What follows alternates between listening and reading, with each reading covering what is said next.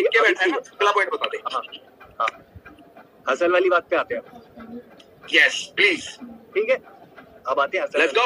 हर Gange Let's वाली तो आपकी कोई गलती नहीं थी। सीधी बात है आपकी कोई गलती नहीं थी है ना? मैं हर बार पूछूँगा टॉपिक के बाद क्योंकि गलती तो बताने आया हूँ आपकी। गलती थी वही हाँ अगर मेरे बाप का चैनल होता तो। नहीं आया ना बता दो यार। मेरे बाप का चैनल होता तो बिल्कुल होती। हाँ? अबे लोग बेवकूफ़ थोड़ी आया ना नहीं थी भाई बिल्कुल नहीं थी उसमें। नहीं थी ना गलती पर ठीक है। अगला आते हैं हसल पे। हसल के लिए अरे हसल का ही तो कंप्लीट किया अभी। क्या चीज़?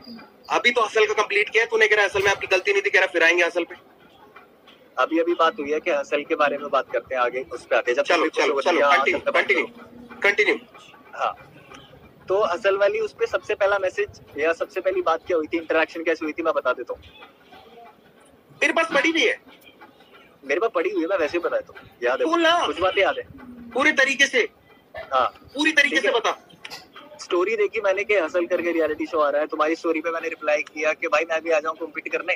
तो तुमने ये बोला मैसेज है तो सारे पड़े हुए कि तुमने ये बोला कि नहीं नहीं पागल है क्या तू? तेरा लेवल इन सबसे ऊपर है या तेरा लेवल कंटेस्टेंट से ऊपर है? स्पेशल जज बोल special hundred percent hundred percent बोला क्यों नहीं? प्रदवी को भी मैंने ये बात बोली थी। प्रदवी भी आया. मुझसे जिस जिसने अगर बात पूछी थी कालो ने तो मुझसे पूछा भी नहीं था हसल के लिए। पूछा भी नहीं था। फिर भी मैंने कोशिश करी। रागा ने भी नहीं पूछा अगला नहीं नहीं अगला मैसेज सौरभ आचार्य दिल्ली से भाई सौरभ आचार्य जिसको मैं ढंग से जानता भी नहीं हूँ उसके साथ मैंने चिल रामिक्स किया था। तो उसका भी नाम मैंने सजेस्ट किया किया है वो बताऊँगा मैं। मेरे को दूसरों के साथ क्या अच्छा किया मुझे नहीं जानना चल आगे बोल बोल बोल बोल बोल। हाँ। तुम्हारा मैसेज आता है उसके बाद मेरे पास कि खुश हो जा तेरे को हसल पे बुला रहे हैं एमटीवी नेक्स्ट क्योंकि मेरे को अप्रूवल मिला था। मुझको अप्रूवल मिला था और मैं मेरे पास भी चीज़ें ऐसी हो जाती है मैं उसके लिए भी कोई दिक्कत नहीं बता तो देते। प्रभु मुझको नहीं बताया मैंने till the last moment till the last moment till the last moment मुझको नहीं बताया था उन्होंने कि क्या चल रहा है पीछे क्या प्लानिंग चल रही है किस बंदे को कस तारीख को बुलाएँगे। मुझे नहीं पता।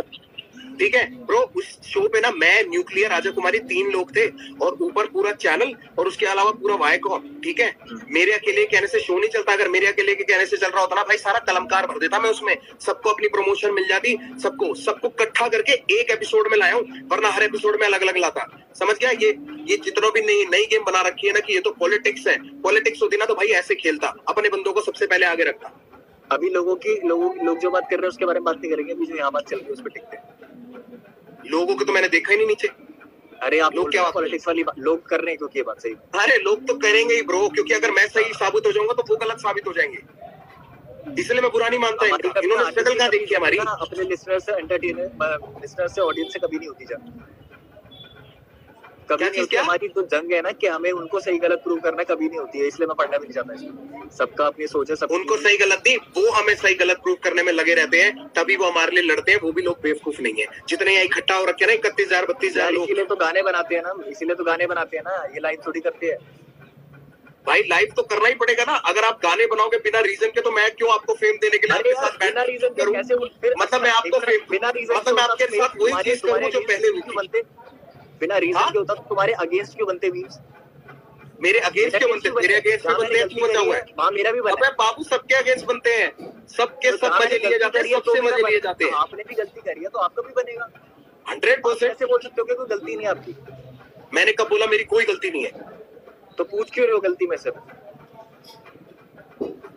सो so, उम्मीद करता हूँ ये वीडियो आपको पसंद आएगी। पसंद आए तो प्लीज़ लाइक शेयर कमेंट करना ना भूलो और चैनल को सब्सक्राइब करना बिल्कुल ना भूलो क्योंकि ऐसी इंटरेस्टिंग वीडियोस आपको आगे भी मिलती रहेंगी। So thank you for watching this video thank you